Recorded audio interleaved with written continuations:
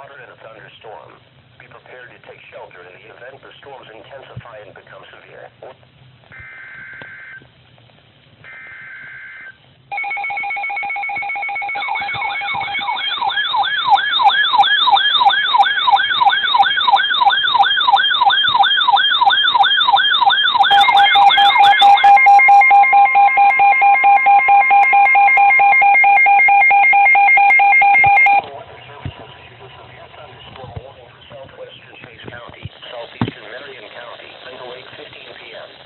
7.26 p.m., a severe thunderstorm was located over Florence, moving southeast at 25 miles per hour.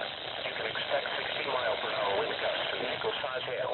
The warning was based on radar indications. The following impacts are expected. Expect damage to roofs, siding and trees. Locations impacted include Florence, Bazaar, Matfield Green, Cedar Point, and One Sepu. This includes Interstate 35 between